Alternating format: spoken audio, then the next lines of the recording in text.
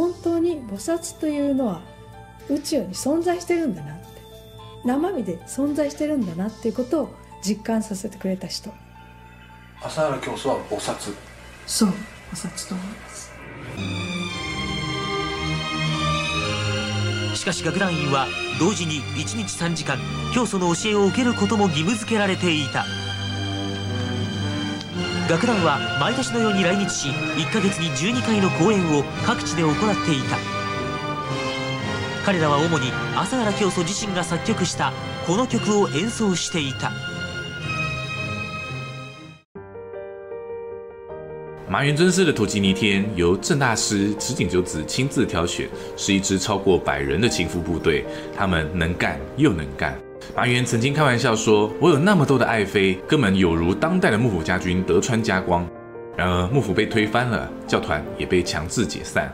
小宫由贵子法名金色女妙贤，她离开教团后虽然没有悟道，却成功的在风俗界出道。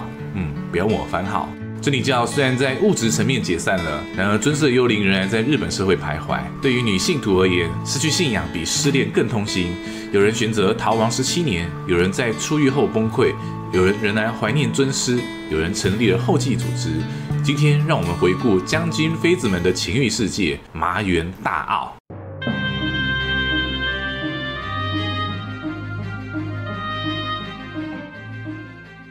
Hello，各位亲爱的粉丝，大家好，我是松喜啊，不对，我是郝伦。感谢各位的支持呢。脱台前的邪教系列来到第四集，到现在还没有讲到毒气事件的发生啊。在日文里，房屋最深处称为奥，将军在江户城面见外城地方叫做表象，将军办公起居的地方叫做中奥。在江户城的深处，住着幕府将军的妈妈、老婆、小老婆，还有小小老婆以及一群女官，这里就被称为大奥，其实也就是后宫的代名词。日本大奥最兴盛的时代，人数最多超过一千人以上。我在之前影片有提到说，哈，马英张皇把女信徒直接当成后宫，他认为自己是德川家光的转世，所以他建立了真理教的大奥。后来当麻原将军的幕府解散之后，他在大奥里面藏着那一百名情妇。后来各自是过着什么样的生活呢？马云张皇呢，针对真理教的高阶信徒呢，都会给一个所谓的 Holy Name 哦，Holy Name 就有点类似出家人的法名。那么小宫由贵子的法名呢，就是巴托拉金色女妙贤。金色女妙贤是大家业尊者的妻子，妙贤与大家业历经了九十一劫，大约是一五二八八零零零零零零年之后结为夫妻。虽然他们名义上是夫妻，但是在十二年之间从来不同床而睡。身在红尘，却拥有清净的菩提心啊。后来大家业尊者。将所有的财产捐出啊，跟他老婆妙贤说：“哎，我要出家了。”等了四年以后呢，妙贤终于也加入了佛陀的门下。然而妙贤呢，因为长得太漂亮哦，那在城内托钵行乞的时候，都被讲到说啊，这么漂亮女生为什么要来出家呢？于是他决定自我毁容，最后证得了阿罗汉果。那么小公尤贵子在真理教团解散后呢，因为违反药事法被判刑一年两个月，然后缓刑四年。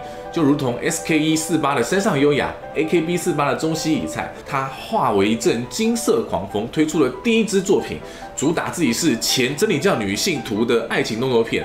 但是后来由于真理教后继团体的介入呢，哦，这个作品很少人看过。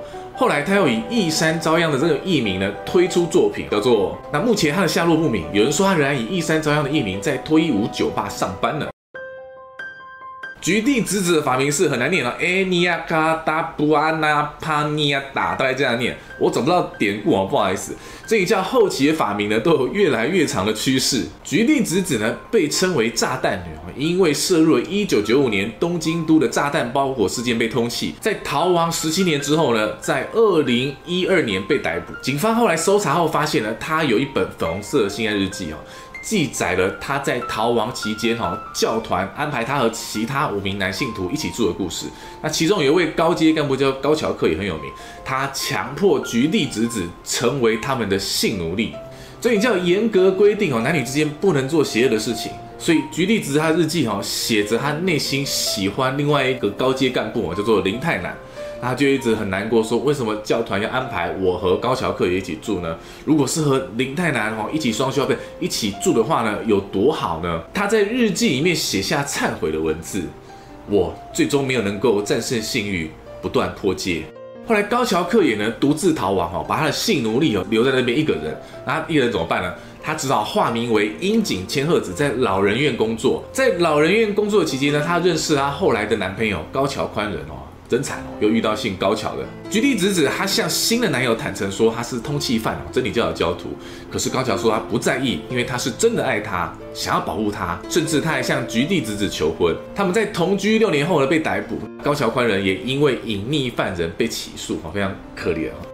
在二零一七年，菊地直子被宣判无罪。针对他无罪的消息呢，另外一位真理教继承人呢上佑十号公开表示说。菊地直子应该要为毒气事件负刑事责任。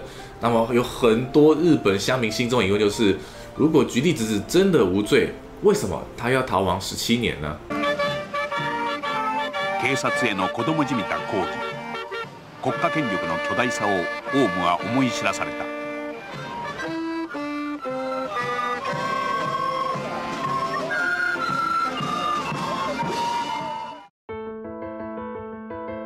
接下来介绍的人呢是春冈达子，他的法名是吴他玛。春冈达子他是真理教后继组织阿列夫的会长，在二零一一年脱离教团，一个月靠接翻译的案子，大概可以赚四五万日币，非常的少。反正之前在真理教团的日子就很简朴，所以这一种生活对他来讲不算什么。但是他面对周刊访谈时，他说他喜欢看历史剧，他喜欢像皇帝这样的角色，对他来说，麻原尊师就是像皇帝一样的存在。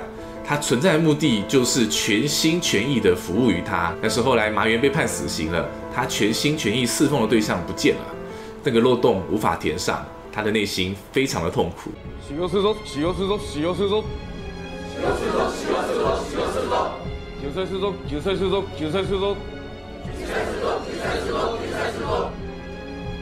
祖朝原将校は年上の村岡佑子をどう見ていたのか。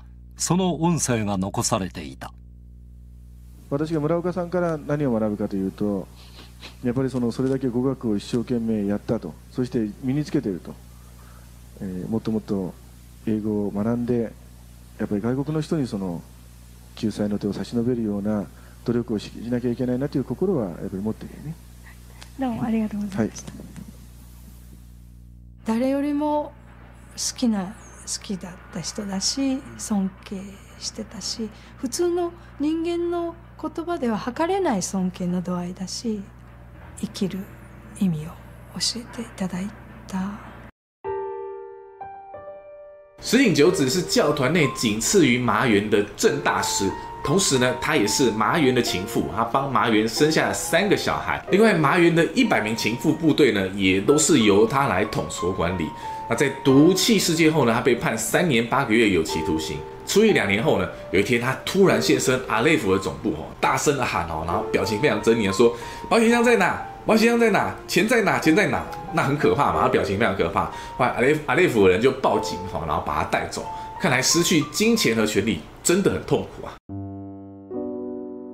在 Ray Dalio 的《原则：工作与生活》这本书里面呢，他分享了生活原则的高层次思维架构。里面有一个重点，就是说你要理解到每个人想法都是不同的。所谓的邪教，其实也只是一种标签而已。有的时候是因为我们无法理解他们为什么会信教。但是如果我们深入去研究的话，就会发现说，这些人他去信教的原因很简单啊，就是因为爽。就像春刚达子在访问时候说的。他在看帝王片的时候呢，他再次确认自己内心深处想要的东西，就是全心奉侍像麻原尊师的这种帝王。但是当麻原被判处死刑的时候，他内心的答案是非常矛盾的。他反对死刑，但是他又认为说，哈，真理教哈，大部分人都需要赎罪。双达子后来又说，虽然尊师被执行了死刑。但是我们的关系不是只有今生、下辈子以及下下辈子哈之后的哈，不管几辈子都会一直持续下去。你要说他执迷不悟吗？他也只是坚信他自己觉得对的事情。各位如果想要避免误入歧途呢，可以参考 Ray Dalio 的《原则》的这本书，可以在生活以及工作中呢，给你很多参考的原则。而好伦的幸福外兵法呢，也可以给你把妹的原则以及系统，帮助你处理那些在追求幸福路上的困扰。但是无论有再多的原则呢，最重要还是你要思考你自己的原则，并且依据你自己的原则正直、充实，并且快乐的活下去。好的，我们下次见。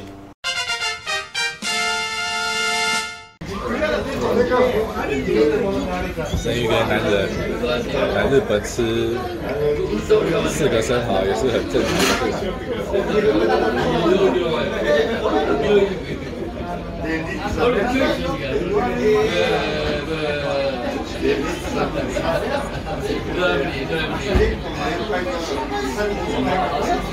海洋的力量。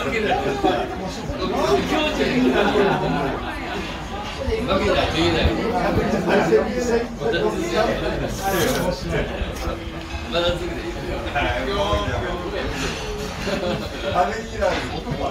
天的比较好吃还是昨天更大，昨天那个更大？那多好吃，都好吃。刚好有个蚝味。哎呀，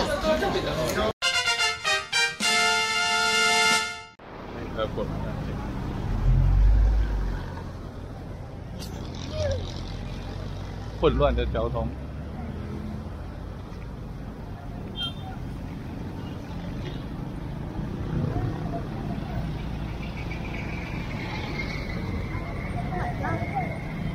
超有 feel，我喜欢这画面，画面超棒，他们若无其事的感觉。